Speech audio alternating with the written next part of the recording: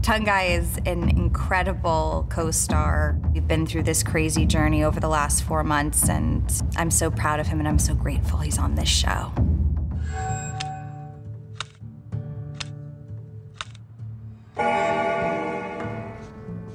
You're not hurt.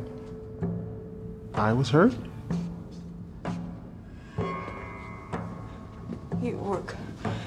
In episode five, where, uh, you know, Cip and Rona uh, caught in the loop, uh, that was particular. I think that had to be uh, the hardest time for me because I was kind of shooting all over the show. So just trying to remember how I was and where I was feeling so that, you know, the gradual decline of Cip's character, you know, uh, looks authentic. So that was fun, trying to remember if I was a 10 or a 4 or a 5. Let Cip go. No, stop.